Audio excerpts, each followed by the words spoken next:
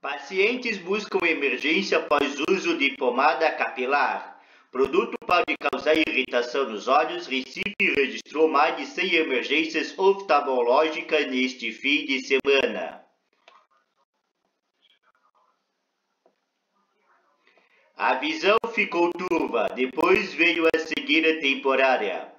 Helen Lyra foi à cabeleireira para fazer um penteado em que foi usada uma pomada capilar. Porém, hora depois, o produto escorregou, escorreu e atingiu os olhos. A estudante teve queimadura ocular e os dois olhos foram afetados. Depois de procurar assistência médica, ela iniciou o tratamento e a visão foi voltada ao normal aos poucos.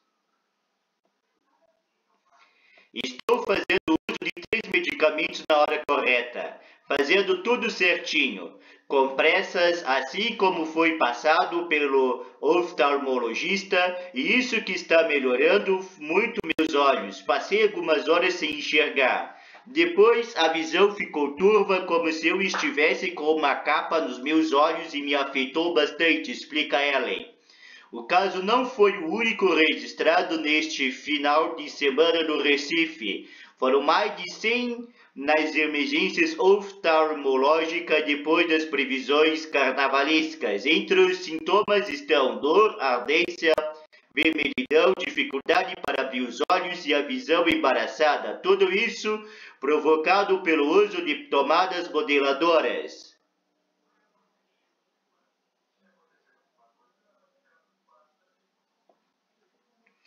A intoxicação ocular pode ter ocorrido porque o suor ou água se mistura ao produto que escorreu e caiu nos olhos. A intensidade do sintoma e a severidade do acometimento depende muito da magnitude da lesão que apresente na córnea. A maioria dos pacientes tem uma conjuntivite ou uma ceratite química. A gente pode ter desde sintomas leves com recuperação plena, mais rápida, até sintomas mais severos com a necessidade de um tratamento mais ostensivo, duradouro, que pode correr em lesões severas, explica o oftalmologista Caio Hipósito. Esses casos não foram os, as, os primeiros a serem registrados. Em janeiro, a Agência Nacional de Vigilância Sanitária a Anvisa publicou novas medidas de fiscalização para as pomadas capilares usadas para trançar cabelos.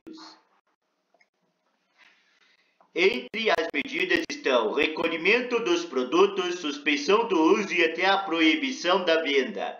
Ainda segundo a agência, todas essas pomadas podem oferecer risco à saúde, já que investigações apontam correlação desses produtos com os casos de intoxicação ocular. A preocupação do órgão fiscalizador e dos especialistas aumenta com a chegada do carnaval, porque o uso destes cosméticos no couro cabeludo fica cada vez mais frequente, o que pode elevar o número de pessoas das emergências e complicações permanentes na visão.